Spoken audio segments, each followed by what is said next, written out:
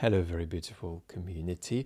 We're going to have a conversation about that gesture that's gone around the world. Trump, after being struck on the ear, arose, lifted his arm up in the air and said, fight, fight. And the photograph of that um, has been viewed by tens and perhaps hundreds of millions of people. I don't want to discuss the obvious, which is the question of whether this optically and electorally helps Trump. It does.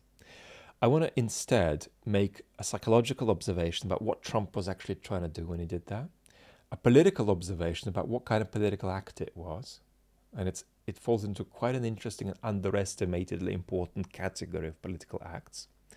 And the third thing I want to do is say something psychoanalytical about it. By that, I just mean something more deeply psychological than Trump's, Trump's conscious intent, which I'll cover in that first psychological point.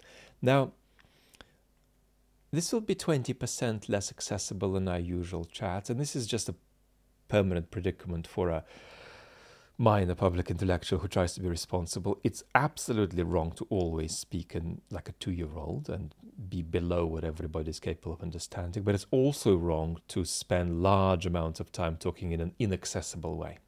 So you want to welcome people onto a boat for a little ride around the lake, and it's fine if they need to do a little walk, um, if they need to cross a little jetty to get to the boat, and they need to maybe put on an extra jumper to be on it. That's fine, but you also don't want to shout from one mile out from the shore at, you know, uh, people saying, "Come along on the boat," right? They're not going to hear you, right?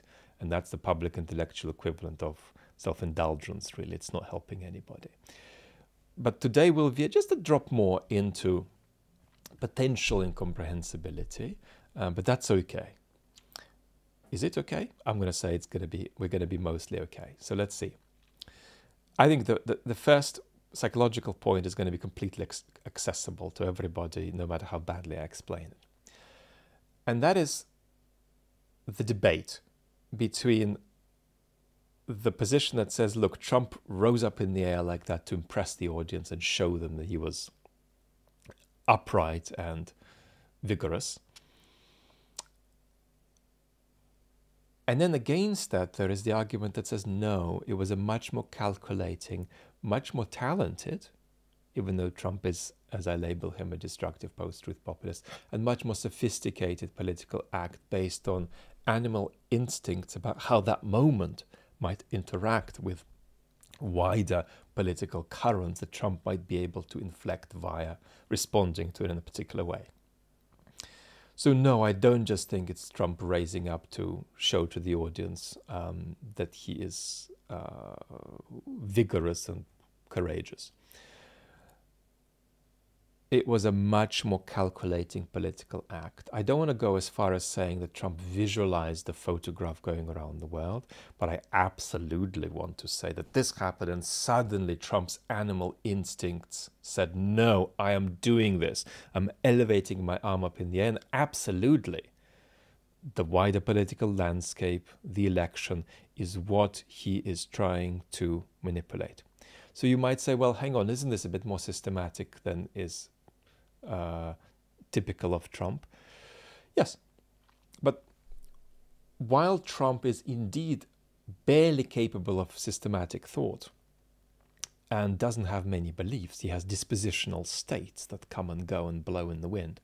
He does do something systematically. And one of the things he's been doing systematically all his life is dealing in appearances and how his appearances impact people and what consequences for him that will have.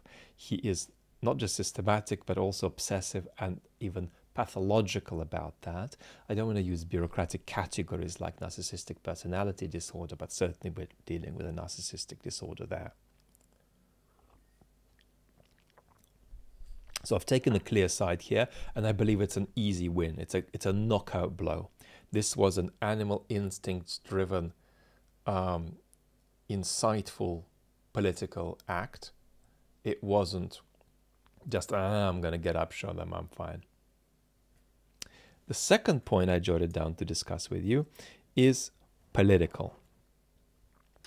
And it, it, it's an important political point because it, it's a, a point about that space where political leaders take advantage of events they can't control where the character of a politician and contingency come together, and in virtue of their character, they manage to manipulate contingency in their favor. The most resplendently, and you might um, also say disturbingly, articulate person about this political um, experience in the history of the West is Machiavelli, has a whole chapter on it in, in The Prince, small chapter.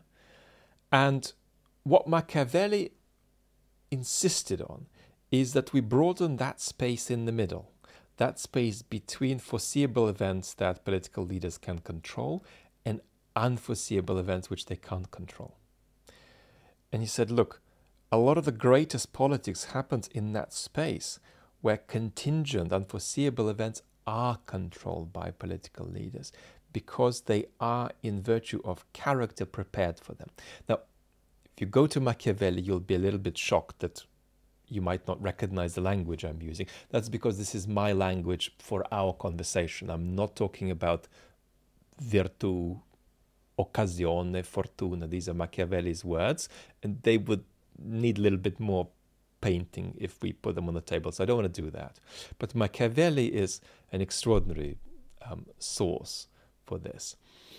And I genuinely think this is an extraordinary um, an underestimated political space whereby um, politicians' character gets expressed under particular circumstances.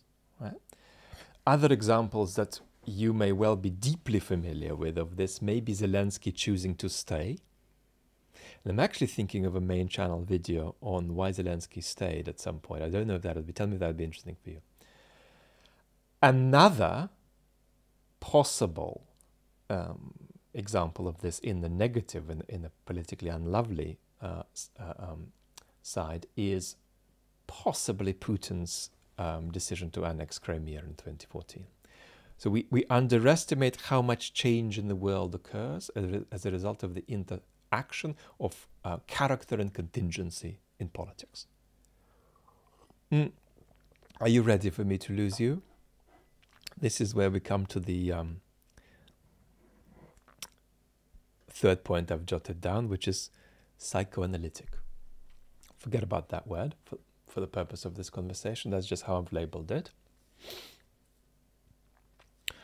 Trump's act, while being courageous, was theatrical,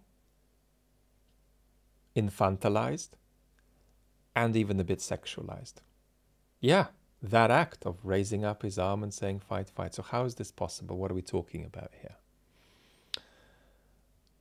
I'm going to put on the table an extremely destructive word, a word that is in the way it has been used in practice has done unbelievable amount of damage to decent people struggling in their lives in the 20th century and that word is hysteria a word with a very, very dark history.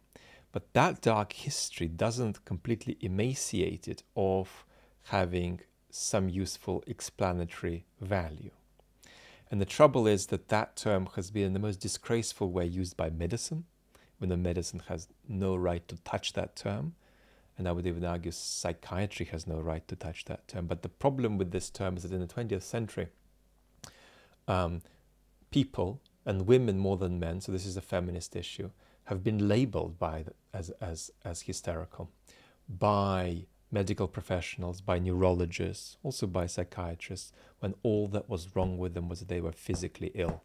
This happened to multiple sclerosis patients early on, and it's happening right now to patients with um, uh, myalgic encephalomyelitis, for example. Now, I want to say that this is indeed a dark history, and a dark history that unfortunately doesn't even make the psychoanalytic profession themselves come out in a good light, because some of the most articulate explanations of what might be useful about that term by psycho- psychoanalysts are themselves full of this absolutely disgraceful riding roughshod over categories of human experience like physical illness that um, uh, should absolutely not come under the umbrella of this term. Um, that's highly embarrassing for psychoanalysts, of course, because they pride themselves in doing what the best of them do beautifully, which is dance with you when you've done a number in your pants and not stopping dancing with you, even if you've done a number in your pants and even if you don't have any idea that you've done a number in your pants. But in um, not understanding that you can't call people with physical illnesses hysterical, um, unfortunately, many psychoanalysts have done a very big number in their own pants.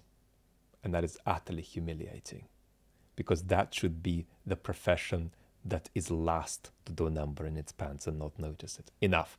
So I, I, needed to, to rant on like this because I understand how damaging, how much appalling damage that term has done and how it has zero place in medicine. And its uh, descendants, like conversion disorder, have zero place, in my view, in, in biological medicine. So a neurologist shouldn't diagnose you with anything like this. But um, do I think that there's something interesting about that concept that we, we, we can get from Freud and it, its descendant expressions? Yes. So let's go. And I'm going to put this very simply. There are people who relate to different parts of their body, like their arms, their hands, or their nose, or their lips, as though that were their genitalia as though that were an extension of their genitalia. That's the beginning of a conversation about that mechanism. And immediately it may become clear that you actually can't explain Trump's pout without using the notion of hysteria. In your life, you may also have some people who are not just narcissists, but vulnerable narcissists. Trump isn't a vulnerable narcissist. But vulnerable narcissists very often experience parts of their body as though they were an extension of their genitalia. You may hug a person like that, could be your neighbor, could be your your you know mother-in-law, could be um, a friend, and you think, oh, this feels a little bit sexualized, that hug, or a little bit sexually ambiguous. That is because you're not relating to your arms as your genitalia, and they a little bit are.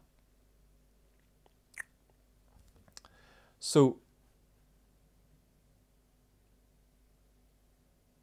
what that act was for Trump, fundamentally, is a bit like little Jason, who is four years old, recognizing that his parents are having guests over and it's bedtime for Jason. And Jason is four. He decides to throw off his clothes and just run into the living room and say, Hello, everybody, this is me. And the parents say, Well, I, this is little Jason. He's taken an unusual fashion decision here tonight. Now, Jason, why don't you go to your room and put on some shorts? So that's going to be really cool to do that, I think. Hmm. Um, is this a courageous act for Jason? Yeah, it possibly is, but he nevertheless wanted to meet the neighbors naked. So that's the best image analog for what Trump was doing. I'm going to call it infantilized. I've written three words here infantilized, theatrical, and sexualized. I'm going to call it theatrical because it's a form of masking that is an imitation of other conditions, other human experiences. And it is sexualized just like the this um, character's pouting is unfortunately sexualized. So that is the, the deep the deeper explanation. Um, so yes, you can say that it was a courageous act, and yes, you can say that it was a very politically gifted act.